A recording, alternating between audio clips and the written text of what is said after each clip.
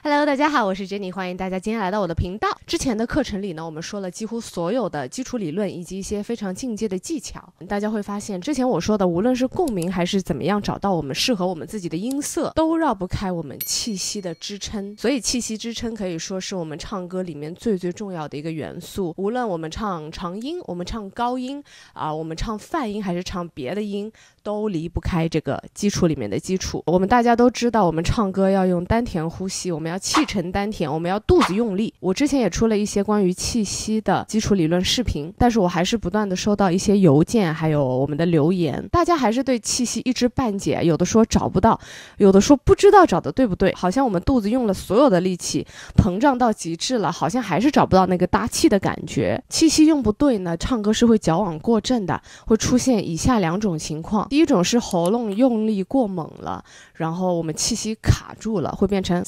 Some people want it all, but I don't want to see it all。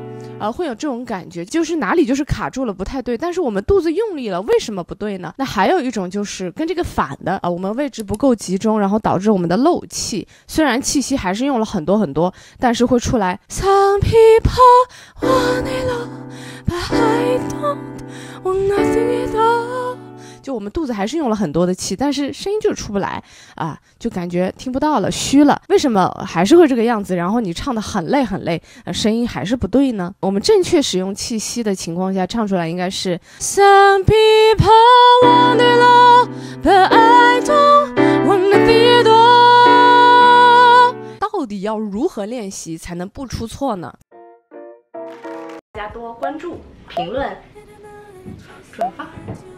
呃，有兴趣的朋友可以关注我的个人 IG，希望大家可以快乐唱歌。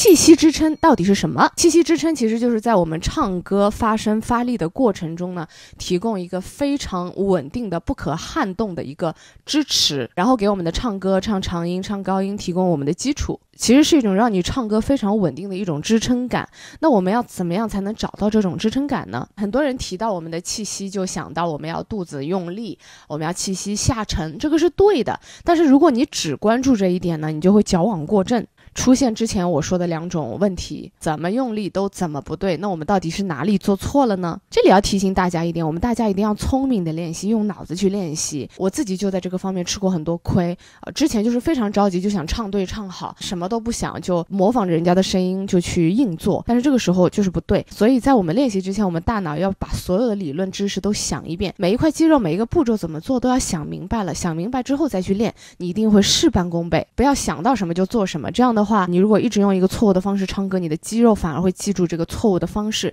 你之后改回来又会比较难了。那我们在真正练声之前想的原理是什么？我们要想整个我们唱歌吐气的过程。首先在吐气之前，先要找到正确的吸气方式。我们要横膈膜打开的去吸气，横膈膜打开的这个步骤，其实吸气的时候，我们的气息已经 get ready 了，已经准备好了，然后再顺着我们吐音的时候，把气正常放松的吐出去。去比如说，吸气。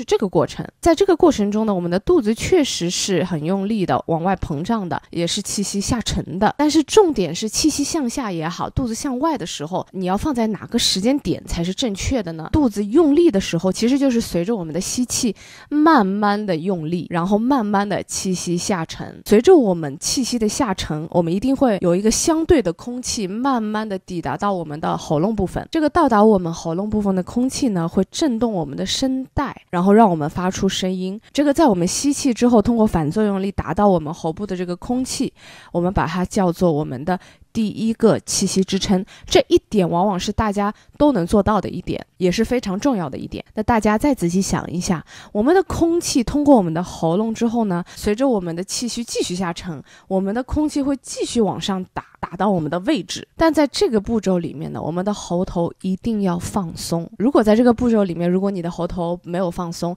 紧了，会导致你的空气卡住，然后完全就送不上去了。送不上去之后，你就没有办法打到你的位置，你没有位置，你就没有办法唱歌。如果你没有位置的话，你就只能通过第一个空气送到喉咙的空气啊，在这边用力唱歌，这就是我们通常说的用喉咙发力唱歌了。所以，我们通畅的气息会来支撑我们带着位置的声带，这是我们很多人在练习气息的时候会忘掉的一个重点。大家只注重第一部分的气息，忘了后面传到位置的气息了，导致我们气息送到一半就卡住了，所以就会出现我们第一种呃唱歌卡住非常憋的情况。那我们这里就把空气传到喉咙之后，再往上送到位置的这个阶段，成为我们气息的第二个支撑。所以大家往往是第二个支撑没做对啊，呃，就导致我们发出来的声音不太对。所以，我们气息在一直稳定的输出的同时，我们的气息要在第二个支撑的时候拖着我们的位置。这也是我之前一直说的啊，我们的筋斗云拖着悟空的感觉，腾云驾雾的感觉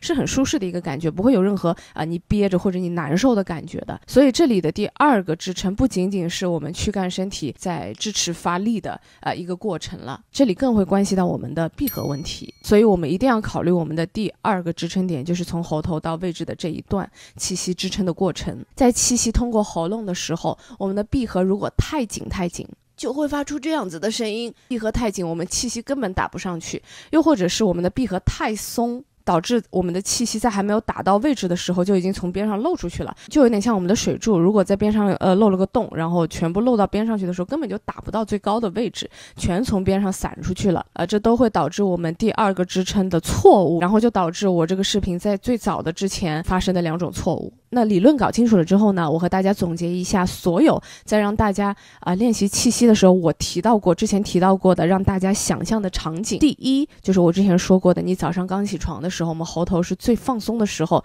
出去买早点的时候，在路上远远看到一个熟人，喊他，你是怎么喊的？哎。就是很通畅的就出去了，你不会想很多的。除了你的肚子用力，你的气息是非常顺的，同时你的闭合正好是不大不小的，让你的第一个支撑的气息能顺利通过的，所以你才能发的那么顺畅。和我们健身房里一直看到的很多猛男猛女发力的时候的感觉是一样的，因为他们就是很顺，没有想那么多，不卡也不漏。第二，也是我一直提的一个，嗯，让大家上大号的感觉哈，是很顺畅的，千万不要发出你上不出来的声音，就是呃好憋好憋的那个感觉，那。这个绝对是不对的，你自己也很难受啊。括弧一下，这里上不出来，憋着很难受的感觉，就是闭合过紧的感觉。第三，上节课也让大家想象过的，就是在我们有氧运动之后啊，我们喘气，或者是想象在之前说的狗喘气的过程。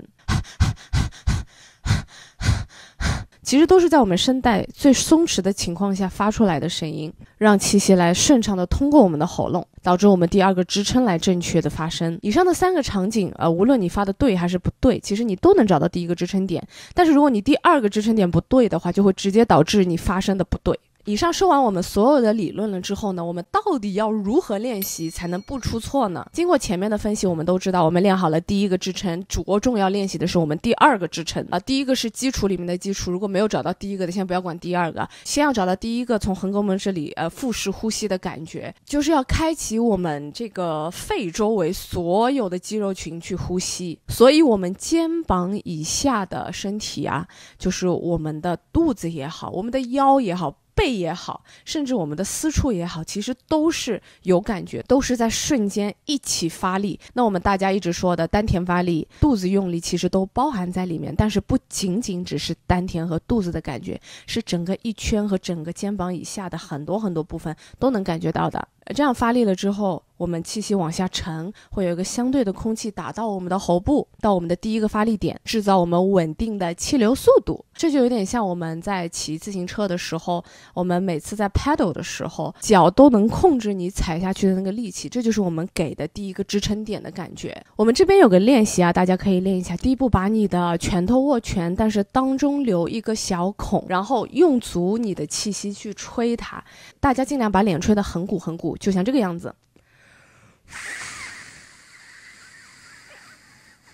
不然气息会出不出去。大家在做这个练习的时候，有三个要注意的点：第一，防止我们舌头的后缩。如果控制不了的朋友，你可以稍微用牙齿咬住一下你的舌头，因为你的呃舌头如果后缩的话，就说明你的喉头动了，肯定就是闭合会很紧，然后会导致你用喉咙唱歌的。一定要保持舌根不动，是我们的第一点。第二点呢，千万不要耸肩。这我之前也说了，因为我们吸气只是肩膀以下的躯干在吸气，肩膀以上不要用力。如果你看到你耸肩了，就说明你气息卡到上面没有往下。所以第一个支撑完全就是肩膀以下会动。再试一下横膈膜打开的吸气，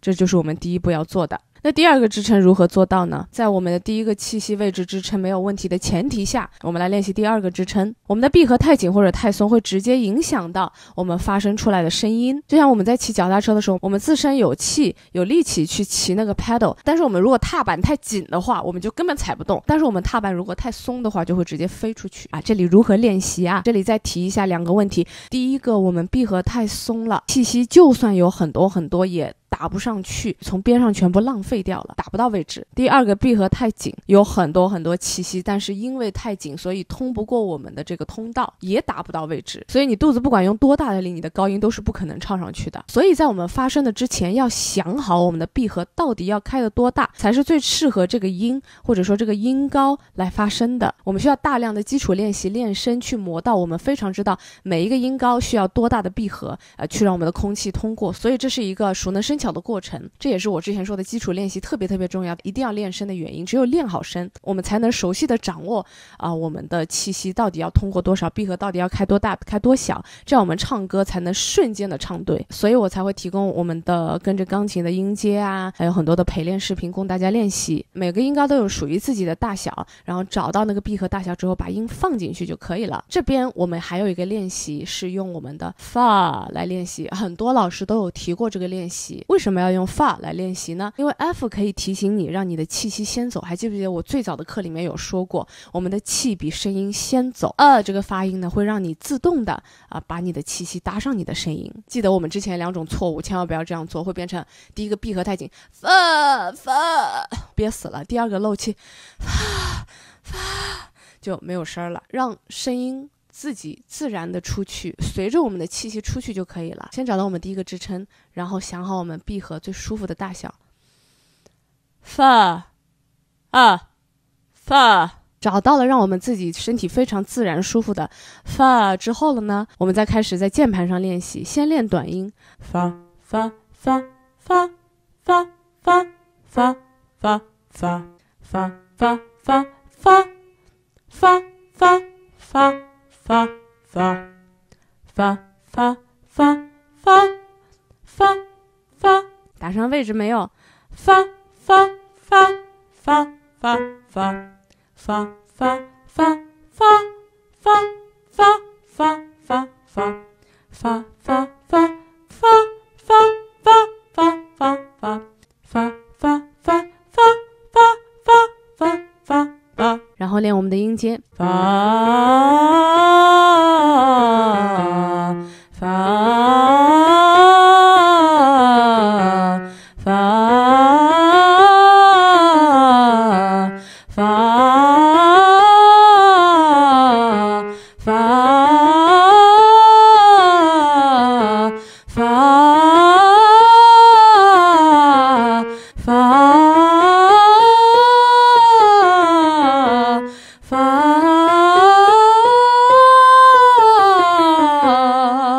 然后我们再用这个方式带入歌曲唱歌，发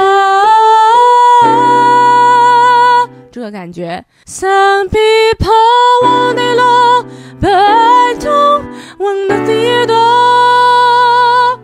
差不多就是这个感觉就可以了。一开始唱的很白，没有感情不要紧，我们先要发声，找到气息，找到。那今天就是以上我们所有的内容啦，希望可以帮助你们更好的找到气息，知道自己为什么呃肚子用力了，觉得自己丹田在发声了，还是自己声音唱不对，或者自己身体就是不舒服。喜欢这期视频的朋友，千万不要忘记点赞、收藏、评论。还没有关注我的朋友，请尽快关注我一下，我会给大家带来更多好的关于气息位置还有唱歌技巧的练习方式，陪你们走过练习唱歌的漫漫路程。大家加油！那我们下期见。